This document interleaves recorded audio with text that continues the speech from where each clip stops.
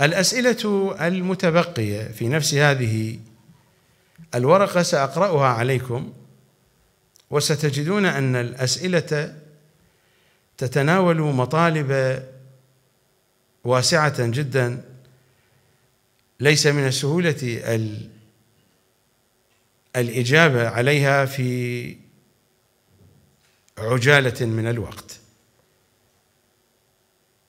هل الإنسان في أول خلقته وفي العالم الأول الذي تكون به.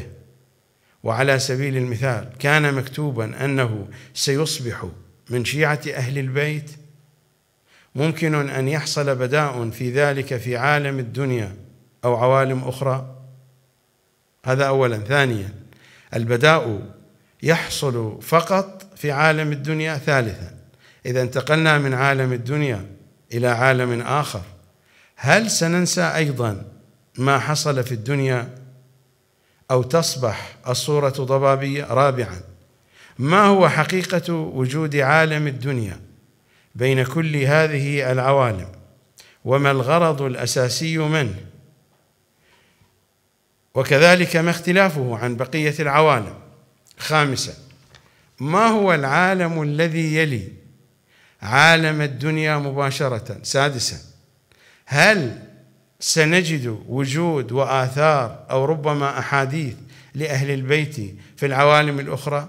وهل كان ذلك موجودا في العوالم السابقة؟ سابعا. لماذا كان أهل البيت يذكرون لنا عالم الذر؟ يبدو أن السؤال هكذا مداراة ثامنا. هل الشيطان موجود في عالم آخر غير عالم الدنيا؟ تاسعا. لماذا موسى وبقية الأنبياء من أهل الكتب كانوا يجبرون أممهم على التوحيد والإيمان بالله؟ فأين الحرية في الدين؟ أم لأنهم يريدون زرع الجذور أولا يبدو عند الأمم الأولى عاشرا هل يوجد أناس إلى الآن في الحالة التكوينية في عوالم ما قبل الدنيا أو ما بعدها؟ أم كلنا ننتقل من عالم إلى آخر معا؟ الحادي عشر هل يمكن للشخص أن يوجد فقط لأجل شخص آخر؟ والله ليس له معه أي شيء. إذا الإجابة نعم متى قرر الله؟ أقصد في أي عالم من العوالم. قرر أنه لا يريد شيئا معه. ويوجده فقط لاختبار أو عقاب شخص آخر. هل الشخص هو الذي اختار هذا الشيء لنفسه قبل وجوده؟ أم فقط لأن الله يريد هكذا؟ وما الذي يفعله الشخص؟ لكي يجعل الله يقرر هكذا. ويخرج من نعمته أو من دائرته. وإذا كان الجواب لا إذا لماذا كل هذا الاختلاف في حياة البشر ونفوسهم وطباعهم وضمائرهم وقلوبهم؟ لأجل التعدد والاختلاف فقط أم لأجل شيء آخر؟ أم أن كل شخص هو يختار مكانه الذي يريده قبل وجوده لسبب غيبي ما؟ وما يمكن أن تكون تلك الأسباب الغيبية.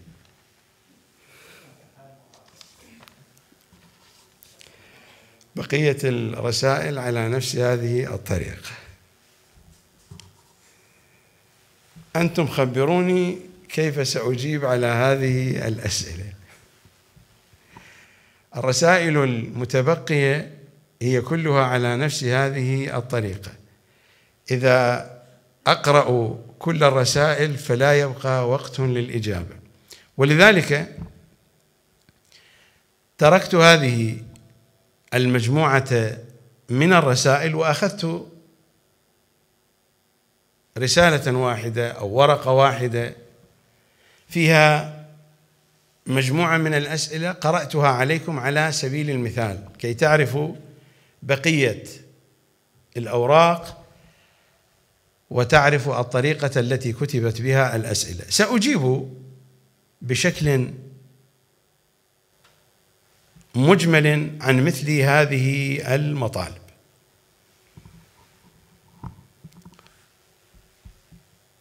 هناك حقيقة لا بد أن ندركها.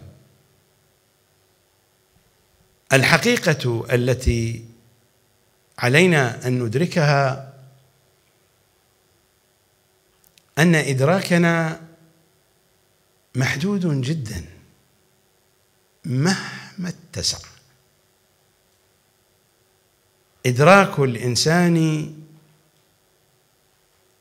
محدود جدا حتى لو أضفنا إلى إدراكه القدرات الغيبية التي يمكن للإنسان أن ينالها من طريق إمامه. حتى هذا الذي يمنح القدرات الغيبية فحينما يعطى يعطى بحسبه. العطاء بحسب القابل. العطاء بحسب الوعاء. وعاء الإدراك عند الإنسان وعاء محدود. نحن نتصور من أننا قادرون على أن ندرك كل شيء.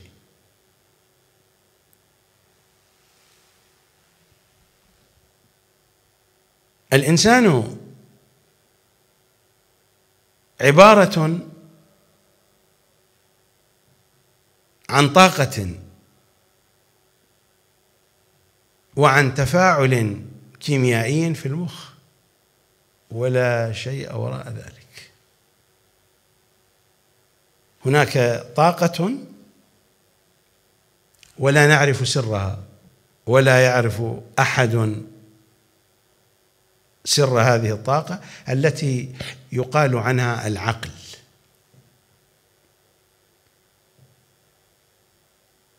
ما حقيقة العقل؟ لا يعرف أحد ذلك أبدا. حتى ما جاء في آيات القرآن وفي أحاديث المعصومين من حديث عن العقل جاء بصدد ذكر آثار العقل ونشاطاته. وما من حديث واضح عن حقيقة العقل. فالإنسان في حقيقته هو هذا. طاقة هي التي يعبر عنها بالعقل وهذه الطاقة تتفاعل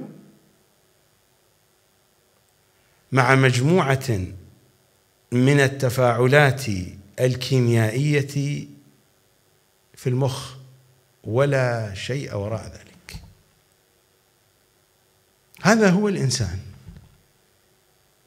الإنسان بهذا الحد الضيق ماذا يستطيع أن يدرك من الحقائق؟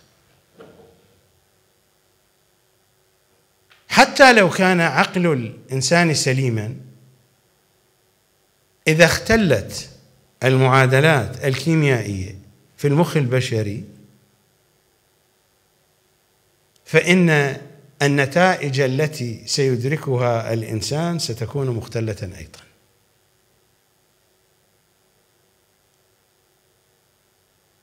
فالإنسان بهذا الوصف ماذا يستطيع أن يدرك؟ ستبقى دائرة الإدراك محدودة جدا. هناك بيت للمتنبي يذكر دائما على الألسنة ويضرب مضرب المثل. ومن يك ذا فم مر مريض يجد مرا به الماء الزلالة. حينما يختل مزاج الإنسان بسبب عارض صحي. اختلال المزاج الإنساني بسبب عارض صحي بسبب مشكلة صحية وجسدية مادية يؤدي إلى اختلال منظومة الهرمونات في الجسم البشري. ويؤدي ذلك إلى اختلال التفاعلات الكيميائية في مخ الإنسان. ومن هنا هذا الماء الزلال لن يستشعره ماء زلالا طيبا.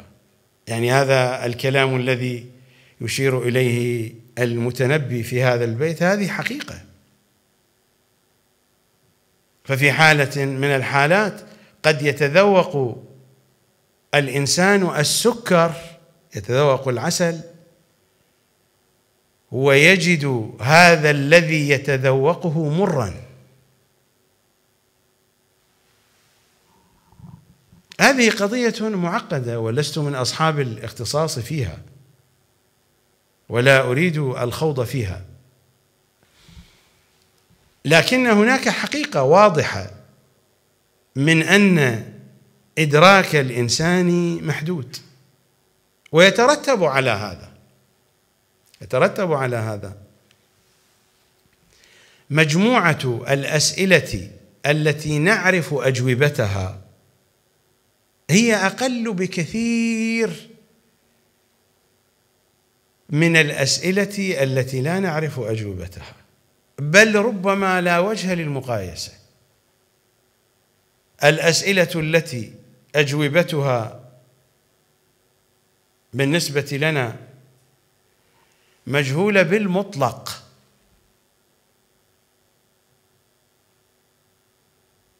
هي تريليونات أضعاف الأسئلة التي نعرف أجوبتها. وإذا ما رجعنا إلى الأسئلة التي نعرف أجوبتها يخيل لنا أننا نعرف أجوبتها. فلربما هناك الكثير من هذه الأجوبة ما هي بدقيقة. لا أريد أن أقول خاطئة وفعلا هناك الكثير من الأجوبة خاطئة ولكن فلنتسامح في القضية. فهناك الكثير من الأجوبة ما هي بدقيقة. وهناك الكثير من الأجوبة ما هو بنحو مقارب. لا يلامس الحقيقة بشكل واضح ودقيق. خصوصا ما يرتبط بما وراء الحس. هناك أسئلة كثيرة جدا مضامينها تدور حول ما قبل مجيئنا إلى الدنيا. أسئلة كثيرة لا نعرف أجوبتها. وهناك أسئلة كثيرة جدا تتحدث عن خفايا ما يجري علينا في عالم الدنيا. هذه المجريات التي نتحسسها في حياتنا الدنيوية. ما هي خفاياها؟ ماذا يجري في الكواليس؟ الكواليس هو ما وراء المسرح. فهذه الحياة خشبة مسرح. والناس يتحركون عليها. ولكن ماذا يجري في الكواليس؟ ما وراء خشبة المسرح ماذا يجري هناك؟ ماذا يجري في القسم الذي تصمم فيه الديكورات مثلا؟ وماذا يجري في القسم الذي تصمم فيه الأزياء؟ وماذا يجري في القسم الذي تدار الإضاءة والموسيقى وإلى آخره. ماذا يجري هناك؟ ماذا يجري في الكواليس؟ لا نعلم ذلك. ونحن نعيش على هذه الأرض والمجريات تجري علينا والأفعال تصدر منا. وهناك الكثير من الأسئلة والكثير وهي الأكثر. ما بعد هذه الحياة. ولا نعرف الإجابة عنها.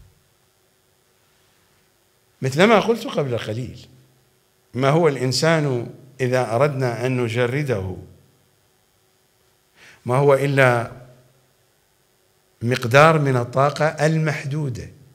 المحدودة في قوتها والمحدودة في عمرها أيضا. هذه الطاقة لها مدة وتنتهي. مقدار من الطاقة المحدودة في قوتها وفي مدتها على الأرض ترتبط بمجموعة من التفاعلات الكيميائية في المخ البشري تؤثر عليها مجموعة من الإشارات تأتي عبر الجهاز العصبي عند الإنسان وأي خلل في كل هذه الجزئيات سيؤدي إلى خلل واضح وكبير في النتائج النهائية التي سترتسم صورها في الذهن البشري هذا هو الإنسان وهذه الكمية الهائلة من المجاهيل. وهل تقف القضية عند هذا الحد؟ ابدا. ماذا نعلم عما يجري في هذا الفضاء الواسع؟ هذا الكويكب الصغير الأرض أين هو من هذا الفضاء الواسع؟ حتى على هذه الأرض من الذين كانوا قبل هذا الجيل قبل جيل أبينا آدم؟ من الذين مروا على هذا التراب؟ ما هي الأجيال والأمم والمخلوقات التي مرت؟ ما علاقتنا بالعوالم الخفية التي أخبرنا عن وجودها؟ عوالم الجان عوالم الملائكة وعوالم كثيرة أخرى. أسئلة أسئلة أسئلة أسئلة لا تنتهي. وما هذه الأسئلة إلا صدى بسيط في مجموعة هائلة لا متناهية من الأسئلة التي تحيط بنا. قد ترتبط هذه المجموعة من الأسئلة التي أثيرت على سطور هذه الورقة قد ترتبط بقضية تلخصها كلمة لإمامنا الصادق صلوات الله وسلامه عليه من أن الناس لو علموا كيف بدأ الخلق يملكون الخارطة يعرفون المواد الأولية. يعرفون القواعد والقوانين التي جرت. يعرفون التفاصيل. لو أن الناس علموا كيف بدأ الخلق واطلعوا على ذلك لما لام أحد احدا لأن القضية فيها تفاصيل كثيرة. القضية لا ترتبط عند إنسان ضل أو اهتدى. لماذا جاء في هذا الزمن؟ لماذا ولد في هذا المكان؟ لماذا جاء من هذين الأبوين؟ لماذا كان أبوه بالمواصفات كذا وكذا؟ لماذا كان أبوه لا يملك قوت يومه. لماذا كان أبوه من الأباطرة ومن الملوك ومن أصحاب الأموال الهائلة جدا؟ لماذا ولماذا ولماذا؟ ولماذا كانت أمه هكذا؟ ولماذا جاء طويلا؟ ولماذا جاء قصيرا؟ ولماذا جاءت بشرته باللون كذا ولماذا جاء ذكيا؟ ولماذا جاء غبيا؟ ولماذا جاء سليم الصحة والعافية؟ ولماذا جاء ناقص الخلقة؟ ولماذا جاء مشوها؟ ولماذا جاء جميلا؟ ولماذا جاء قبيحا؟ ولماذا؟ ولماذا؟ ولماذا؟ حكاية طويلة حكاية طويلة. فلو أن الناس علموا كيف بدأ الخلق لما لام أحد احدا وهذا هو الذي بدأت به حديثي من أننا لا نمتلك قدرة هائلة تسمح لنا بالاطلاع على الحقائق. ولكن في نفس الوقت نحن قطعا نمتلك حرية. قد تثار أسئلة هنا. هل أن الإنسان مجبور؟ هل أن الإنسان مختار؟ وباب تفتح فيه أسئلة كثيرة. لكن قطعا أي فرد منا يشعر بأنه يمتلك حرية. هذا المقدار الذي يمتلكه الذي يستشعره يستطيع على أساسه أن يتخذ القرارات. يمتلك الإنسان قدرا من الحرية. لا أريد أن أخوض في هذه المسألة المعقدة جدا في أن الإنسان مختار مجبور أمر بين أمرين. لا أريد أن أخوض في هذه القضية ولكن هناك أمر قطعي نستشعره من أنفسنا. هناك مقدار من الحرية. الآن كل واحد منكم ليس مجبورا أن يجلس هنا على الكرسي وأن يبقى منصتا لحديثي. بإمكان كل واحد منكم أن ينهض من على الكرسي وأن يخرج خارج القاعة. هناك مقدار من الحرية نحن نمتلكه وهذا أمر لا يستطيع الإنسان أن ينكره. هذا اولا. وثانيا هناك مقدار من الإدراك الصحيح والواقعي هذا أيضا نحن نمتلكه. صحيح أن قدرة الإدراك عند الإنسان محدوده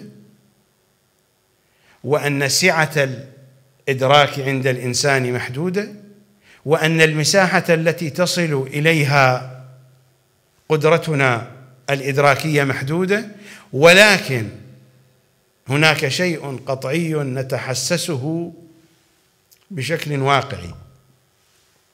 من أننا نمتلك ادراكا ومن أننا نستطيع أن ندرك ما هو من الحقيقة وما هو من غيرها ولو بشكل إجمالي. هذا الشيء لا يستطيع الإنسان الطبيعي السليم. حين أتحدث عن الإنسان السليم السليم في صحته البدنية والسليم في صحته العقلية لا يستطيع أن ينكر هذا المقدار. وما بين هذا وهذا ما بين مقدار من الحرية قطعا يمتلكه الإنسان. وبين مقدار من الإدراك والمعرفة والتعقل والفهم قطعا يمتلكه الإنسان. ما بين هذا وهذا يستطيع الإنسان على الأقل على الأقل أن يشخص موضع قدمه. في أي مكان هو. إنني أتحدث عن موضع القدم في الهداية والضلال باعتبار أن الأسئلة تدور حول هذا الموضوع. فإنني لا أتحدث عن كل شيء هنا. باعتبار أن الأسئلة هي في هذا الوادي في هذا الجو. هناك مقدار من الحرية هناك مقدار من الإدراك يستطيع الإنسان بهما وعلى أساسهما أن يشخص موضع قدمه. ماذا كان قبل هذا؟ نحن لا نعلمه على وجه الحقيقة. ماذا بعد هذا؟ نحن لا نعلمه على وجه الحقيقة وإنما نعود إلى الذين هم على اطلاع على الخارطة وتفاصيلها. نعود إلى أهل الغيب. ما بأيدينا من الغيب ونحن في عصر الغيبة نصوص ما بين آيات القرآن وبين حديث العترة بكل أشكاله من خطب من إجابات من كلمات قصيرة طويلة من أدعية من زيارات إلى سائر ما جاء عنهم صلوات الله عليهم. فما نستطيع أن نستحصله إننا نستحصل المعاني بنحو إجمالي. هذا اولا. مع ملاحظة أن الخطاب الذي خاطبونا به خطاب محكوم بقانون المداراة على سبيل المثال ما جاء في وصف الجنة أو ما جاء في وصف النار إن كان في آيات الكتاب أو كان في أحاديث العترة صلوات الله عليهم الذي يشيع في الثقافة من خلال فهم النصوص من آيات الكتاب الكريم أو من أحاديث العترة التي تحدثت بشكل مباشر عن مفردات الحياة اليومية المفردات التي ذكرت فيما يرتبط بأحوال الجنة أو بأحوال النار. جاءت بلسان التقريب ما كان في آيات الكتاب الكريم وما كان في أحاديث العترة لأننا إذا أردنا أن ندقق في كلمة واحدة حاكمة على كل تلك المعاني فإنها ستعطينا صورة تختلف عن هذا التصور الجزئي لمفردات الحياة في الجنة والنار وفقا لما يطابق مفردات الحياة على الأرض. فحين يقول المعصوم وهو يحدثنا عن ذلك العالم ما لا عين رأت ولا أذن سمعت ولا خطر على قلب بشر. القضية تتجاوز المماثلة بالمفردات الحسية. القضية تتجاوز حتى الخيال. حتى في طبقة الخيال نحن لا نستطيع أن نتخيل الصورة الحقيقية. ما لا عين رأت ولا أذن سمعت ولا خطر على قلب بشر. حين نقف عند هذه الجملة ولا خطر على قلب بشر؟ هذا يعني أن جميع التفاصيل التي بنيناها وفقا لمفردات نحن هكذا فهمناها بالقياس إلى مفردات الحياة اليومية في العالم الدنيوي الأرضي الترابي. هذه التصورات ليست صحيحة. تشير إلى المعاني من بعيد جدا ربما بشكل وبآخر ربما. ولكن الحقائق ليست هكذا. هل يمكن لأحد مثلا أن يتحدث عن البحر. ويرينا خارطة للقارات على وجه الأرض وفيما بينها المحيطات والبحار. ويقول هذا هو البحر. وينتهي الكلام. ماذا نتصور عن البحر من خلال هذه الخارطة؟ سوف لن نتصور شيئا صحيحا. وإنما ستكون هناك معلومة هي عن البحر. مجرد أن هذه المعلومة مرتبطة بالبحر هو هذا من هذه الجهة صحيح. فقط أن هذه المعلومة ترتبط بالبحر. أما أن المعلومة صحيحة التفاصيل صحيحة القضية يمكن أن تكون مثالا يقرب الموضوع الذي أتحدث عنه بخصوص كل هذه المطالب. بعد هذه المقدمة سأجيب إجابات إجمالية بحسب ما ورد من الأسئلة. ورد سؤال عن البداء. البداء هو القانون الأعظم في هذا العالم. وحين أقول في هذا العالم لا أتحدث عن الأرض.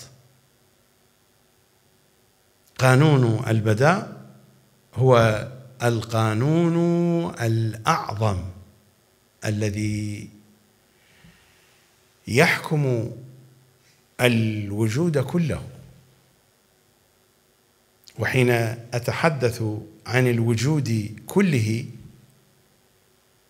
إنني أتحدث عن العرش وما يحتويه بحسب تفاصيل أحاديث العترة الطاهرة.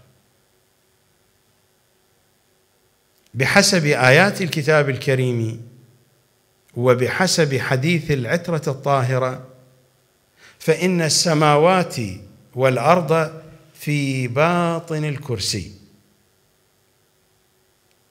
وإن الكرسي في باطن العرش. قانون البداء هو نفسه قانون الاستواء. الرحمن على العرش استوى. نفس قانون الاستواء هو نفسه قانون البدء الموضوع مفصل مطول قد أتحدث عنه بكل تفاصيله في وقت آخر ولكن البداء هو القانون الأوسع. قد يكون الحديث في بعض الروايات في بعض ما جاء عن العترة الطاهرة وكأن البداء يرتبط بالعالم الأرضي هذا الكلام عن جانب من الموضوع وإلا فالبداء هو القانون الأكبر. لذا إمامنا الصادق صلوات الله وسلامه عليه يقول ما عبد الله بشيء أفضل من البداء مراد الإمام ما عبد الله بشيء أفضل من البداء مراده بحسب ما يظهر من أحاديثهم ينصرف إلى وجهين. الوجه الأول أن نعرف البداء الوجه الثاني أن نعرف كيف نتعامل مع البداء وتلك هي العبادة الأفضل التي يتحدث عنها إمامنا الصادق صلوات الله وسلامه عليه. هناك بداء تكويني وهناك بداء تشريعي.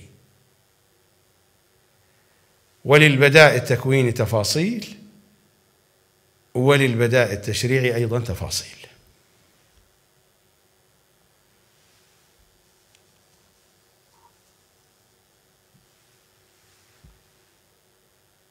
هل أن قبل هذه الدنيا من عوالم؟ قطعا.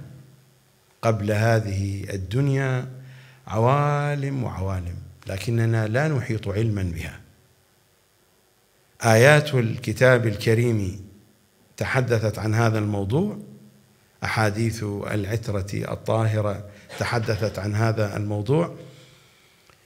مشكلتنا أننا نتصور بإمكاننا أن نحيط علما بكل الحقائق.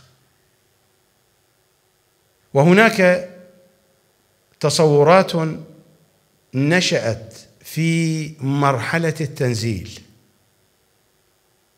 وتشكلت منها ثقافة هي في الحقيقة ثقافة المخالفين وبقيت آثارها إلى يومنا هذا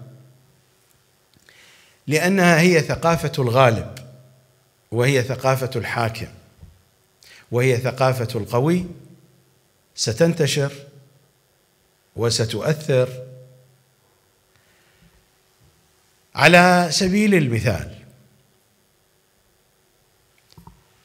هناك تصور عن عالم القبر ينحصر بهذه الصورة بحفرة في الأرض وبكفن وبتراب يهال على الإنسان. عالم القبر عالم وسيع جدا أوسع من عالم الدنيا. وحين نقول عالم القبر إننا لا نتحدث عن هذا المكان الذي يدفن فيه الإنسان. حين نقول عالم القبر فعالم القبر أو قد يعبر عن بعالم البرزخ عالم القبر هو عالم البرزخ هو نفسه. فحين نتحدث عن عالم القبر مثلا في النصوص التي تتحدث عن عناوين العقائد بشكل إجمالي أو حتى في أدعية التلقين في نصوص التلقين وأن القبر حق. وأن الجنة حق. القبر ما هو هذا المكان الذي يدفن فيه الإنسان؟ هذه جزئية صغيرة لا تعد بشيء من عالم القبر بل هذه بوابة توصل الإنسان بعالم القبر. فعالم القبر عالم وسيع جدا. يمكنني أن أقرب لكم الفكرة بمسألة حسابية. نحن الآن نعيش على الأرض مليارات من البشر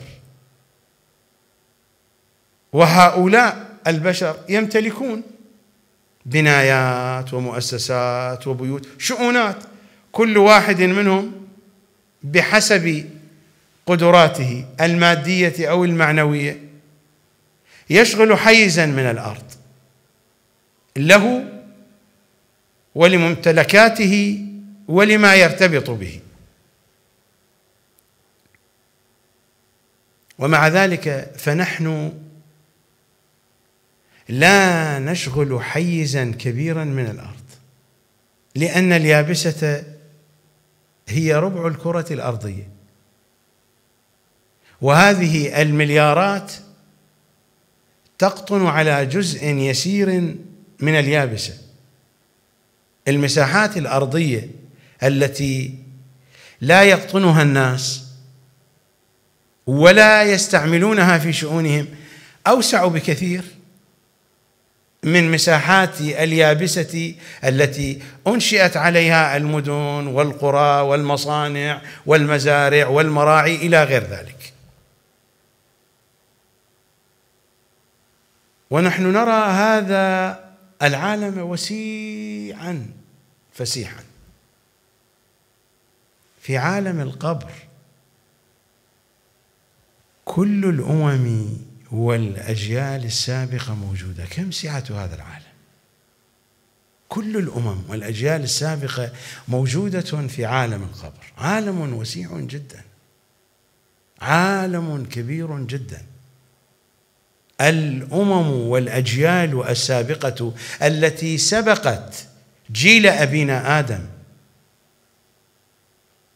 أجيال أمم الجان وغير الجان من الأمم التي مرت في عالمنا هذا هي كلها في هذا العالم الوسيع الفسيح الذي هو عالم القبر.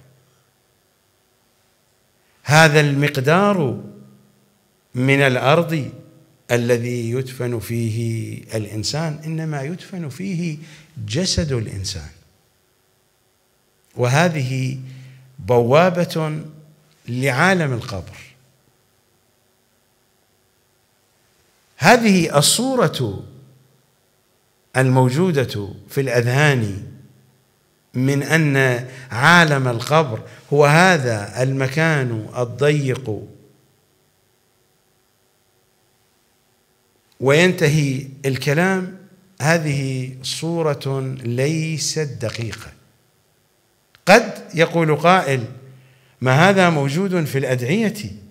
ما هذا موجود في أحاديث الأئمة؟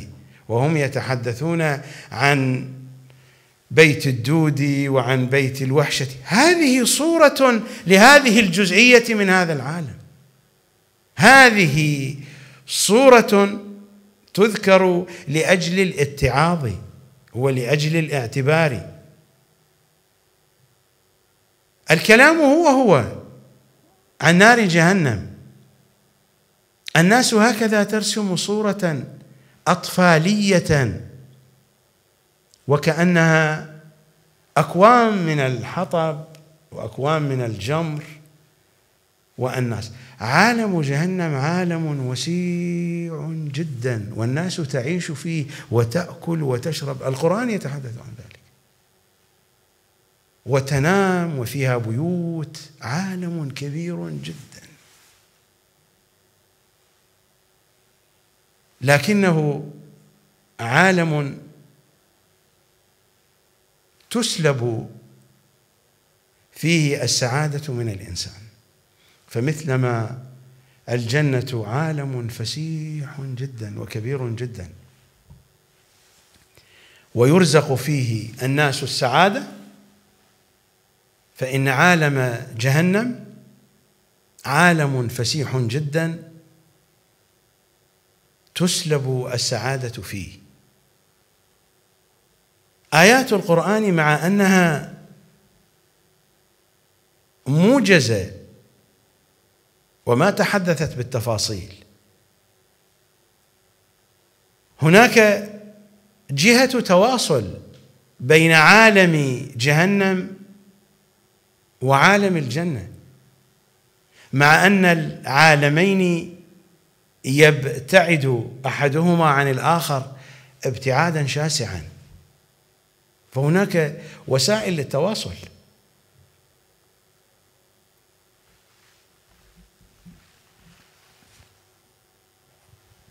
لو ذهبنا مثلا إلى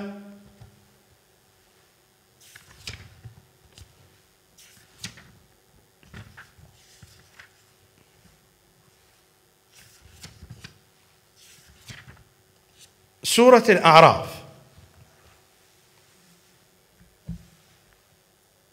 في الآية الخمسين كيف تتصورونها؟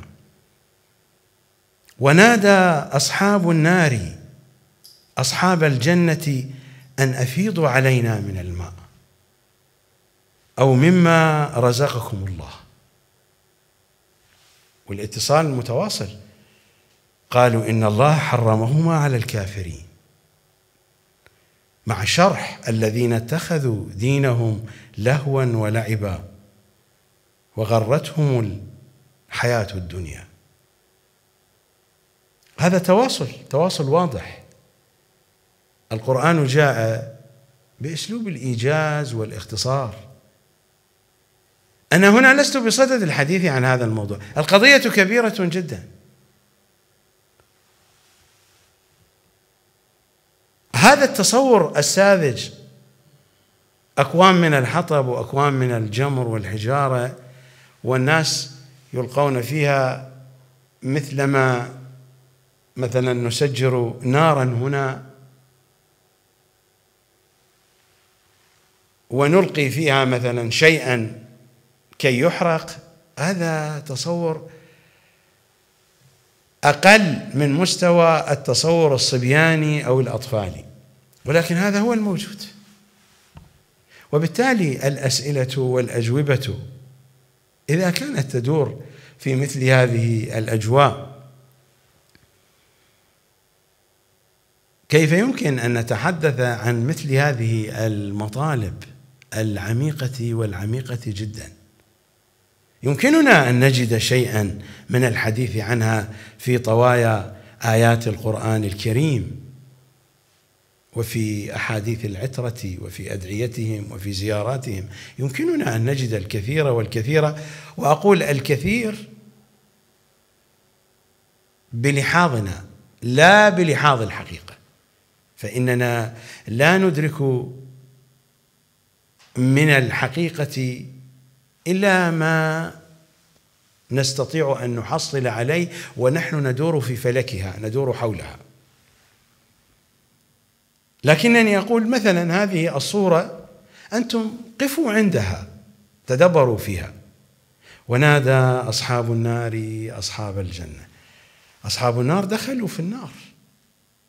الآيات السابقة هكذا تتحدث من أن أصحاب النار دخلوا في النار. وحينما يدخلون في النار كما في الروايات تغلق أبوابها. يعني هناك قطيعة. هذا عالم وهذا عالم.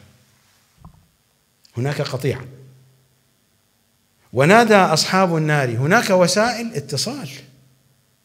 ونادى أصحاب النار أصحاب الجنة أن أفيضوا علينا من الماء أو مما رزقكم الله. الآية تشعر من أنهم يرون ما يجري هناك في الجنة. وقطعا سيكون هذا جزءا من ضنك معيشتهم. حينما يرون النعيم في الجنان وهم في عالم آخر يعيشون بطريقة أخرى. أليس عندنا في الروايات من الأمثلة والصور التي تقرب لنا شيئا مما يجري في جهنم. من أن بعض سكان جهنم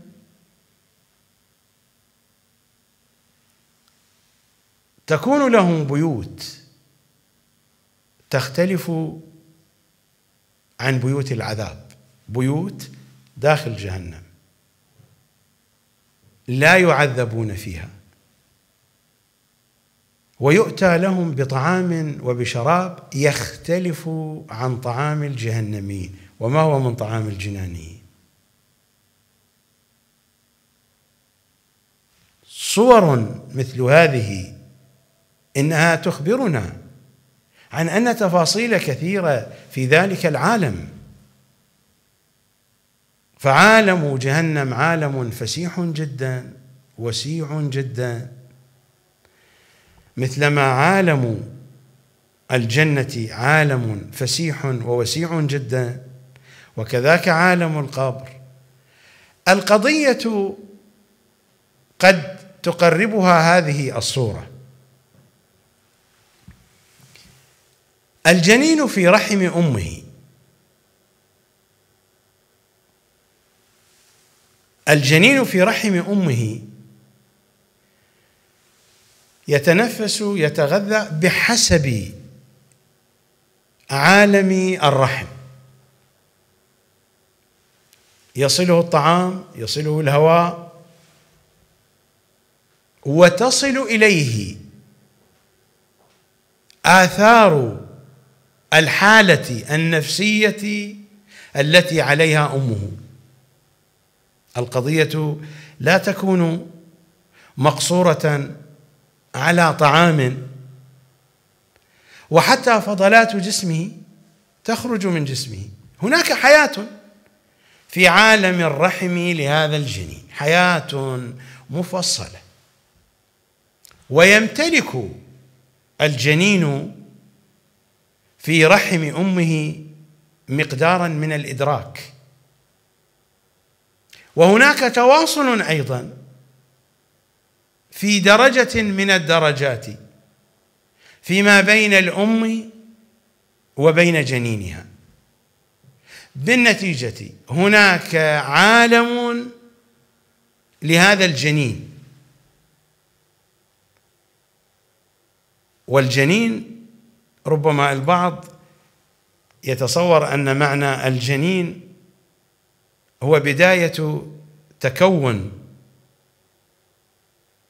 الطفل حينما يكون مضغه الجنين يقال للطفل ما دام في رحم أمه إلى آخر لحظة يقال له جنين. الجنين تطلق على الطفل حتى لو اكتملت. خلقته في بطن أمه إلى آخر لحظة لأن المراد من الجنين هو المختفي الذي لا يرى. معنى كلمة الجنين هو المختفي. فيقال لهذا الذي في رحم أمه بحسب اللغة يقال له جنين لأنه مختف. أمه لا تراه بعينها. فلو أننا نتواصل مع هذا الجنين ونقول له من أنك بعد الشهر التاسع نفترض هو في الشهر الثامن فنقول له إنك بعد الشهر التاسع ستخرج من هذا العالم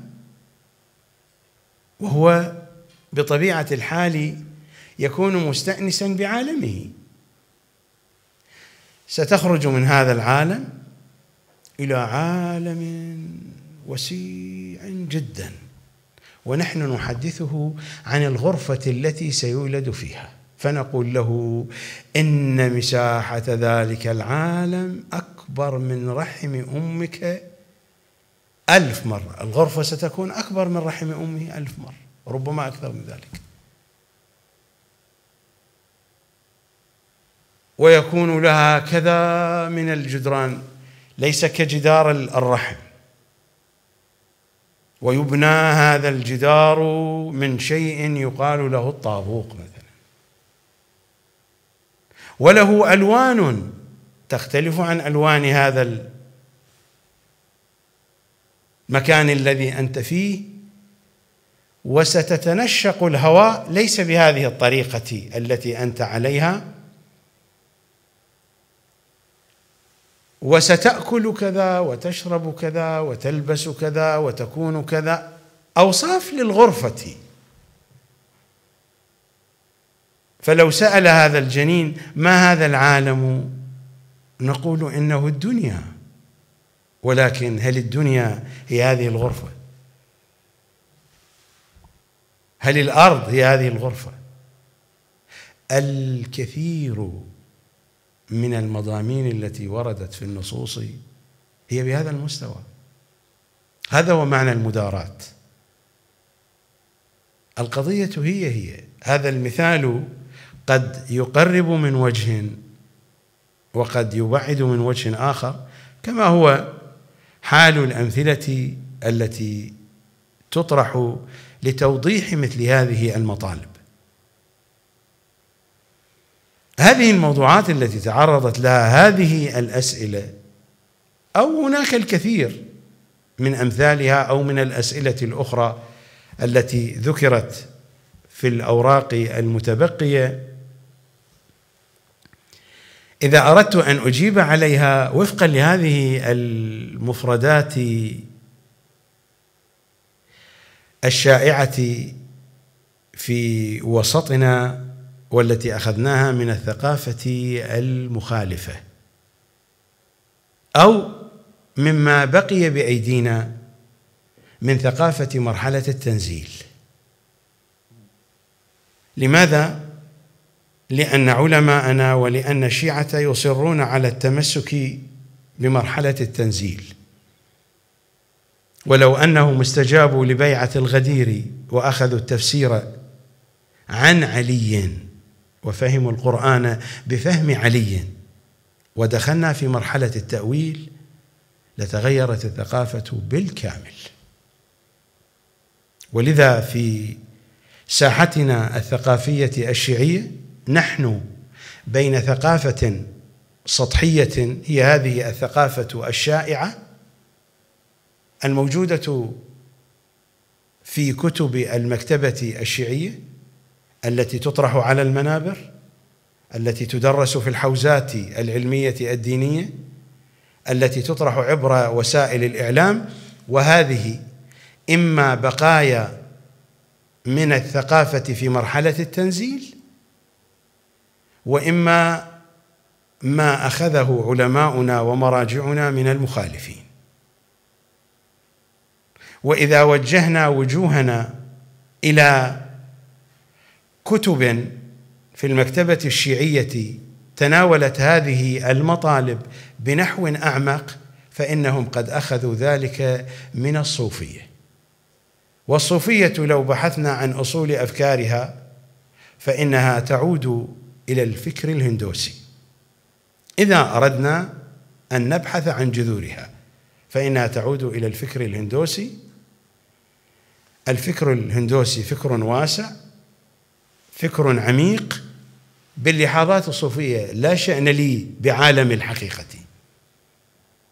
من أقدم الديانات على وجه الأرض الديانة الهندوسية وسائر الديانات التي انتشرت في آسيا في الهند وفي الصين وفي سائر المناطق الآسيوية. سائر الديانات إذا بحثنا عن أصولها حتى البوذية. هذا الدين الواسع هو في جذوره هندوسي. فلسفته فلسفة هندوسية. صحيح بعد ذلك اختلف وتبدل ولكن القضية في جذورها تعود إلى الفكر الهندوسي. والصوفية كذلك. الصوفية الموجودة بيننا وما يسمى بالعرفان هو من الصوفية السنية والصوفية السنية إذا أردنا أن نبحث عن جذورها فإنها ستعود إلى الفكر الهندوسي. انتقل ذلك إلينا عبر ما يسمى بالفكر البهلوي أو الفهلوي عبر تأثيرات الفكر التاوي الصيني وتفاصيل أخرى لست بصدد الحديث عنها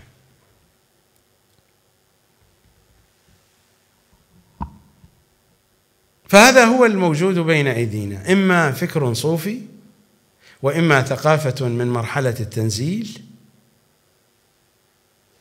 وإما تأثر واضح بالفكر المخالف.